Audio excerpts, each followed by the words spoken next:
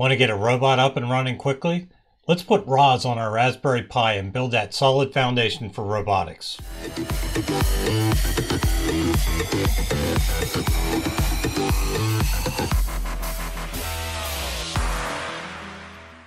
Hi, my name's Sid Faber from the robotics team at Canonical. In this video, we're going to take a look at installing ROS 2 on your Raspberry Pi.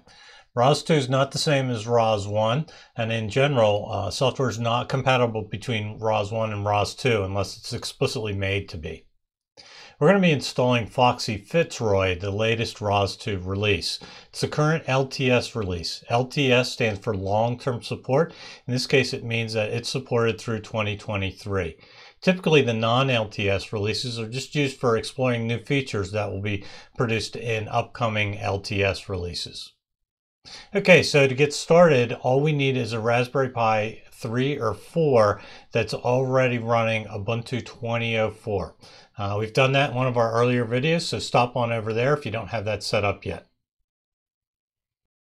We're going to be following these instructions that are available on index.ros.org that show how to install ROS Foxy. We can trim these down a little bit because we know we're going to be starting with an Ubuntu 2004 image. I wanted to take a few minutes though to give you a few pointers on some pitfalls to avoid. These are all based on a lot of firsthand experience, so I hope I can save you a lot of time, uh, keep you from heading down the wrong path. First of all, make sure you start with the right Ubuntu image.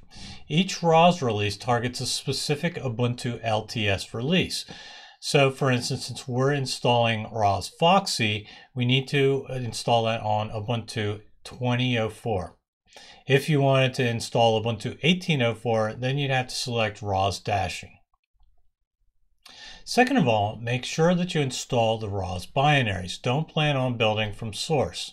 Building from source can be pretty tricky on a Raspberry Pi uh, and is only rarely necessary. You'll definitely know if you need to build software from source. And finally, there's really no need to install all the desktop software, no X Windows and so on.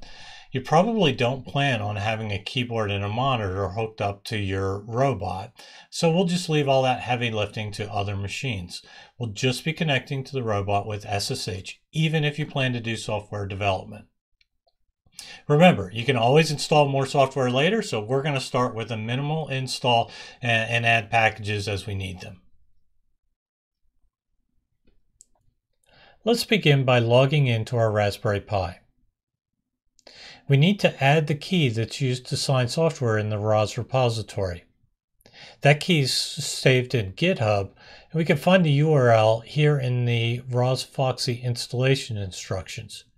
Here in the Setup Sources section, we see the URL. We'll use the apt key fetch keys command to add the key.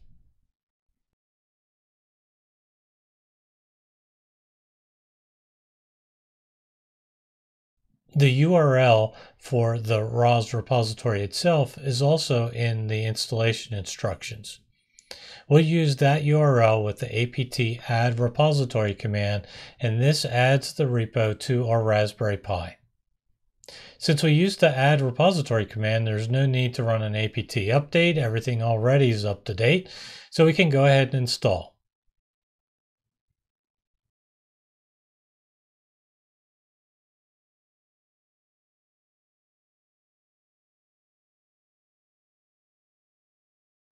Okay, looks like the installation is complete. However, by default, the binaries are not added into your path. However, we can do this by sourcing the setup file in opt ROS Foxy. Since we're going to use this image always to run ROS, we might as well just go ahead and set up the paths every time we log in. So let's go ahead and add that to our bash RC file. Let's also go ahead and install Python 3 argcomplete. This enables tab completion all throughout ROS.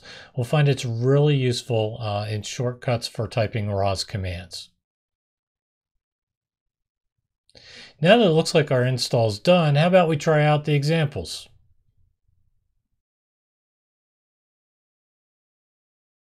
That didn't work quite as expected.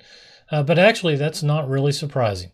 Remember, we only did a minimal installation, so the demos were not installed. But as you can see, ROS 2 is installed. Looks like we're up and running. So there you have it. The installation was pretty straightforward, and now we've got the latest version of a long-term supported ROS release running on our Raspberry Pi. Remember, once we had the OS installed, was three basic steps. First, add the key that's used to sign the software in the repository, then add the repository, and then finally go ahead and run the installation. We kept our installation slim because we want to have a super fast performing robot. We'll add more software as we need it along the way. If you're running a slightly different setup or need some more assistance, check out the help and the tutorials on index.ros.org. There's lots more information available there. Again, my name is Sid Faber from the robotics team at Canonical. Thanks so much for watching.